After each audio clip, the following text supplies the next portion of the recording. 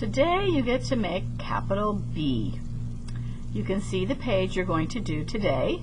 Remember to do your um, circles here. Um, B is an interesting letter. So I'm going to get my board out right here. And uh, remember, remember that you should be turning your board on an angle so you can, that helps you get the, um, the slant when you're writing. So um, B actually starts in the middle of the upstairs. We'll make a little upstairs here, a little, actually our little um, thing that helps us know where each section is. Okay, so yes, B starts in the middle and you make a curved line and it goes up and it touches the top line and then you come down straight. Now, after you do that, you keep your keep your pencil on the paper, but then you're going to go back up and retrace over this line. And the funny thing is, now we're going to make something that looks kind of like a 3 it comes up and it touches right here and then it comes straight out.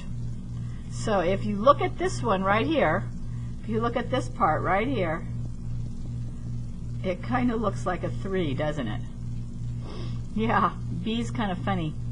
So you start in the middle, you go up and touch the line, come straight down, retrace right back over that line, come around and when you get to the dotted line you're going to make a loop in the middle and then come back around make it touch the bottom line touch the back line of the B and it comes out. B is a letter that connects with the other other letters.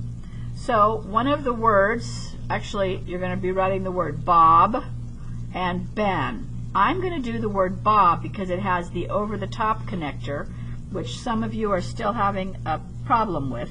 Not too many of you. A lot of you do a really nice job with it. So I'm going to do the B, comes down, it retraces over the top, comes around, makes the loop, comes around, touch the line. Now, when you come out here, we're going to make the O.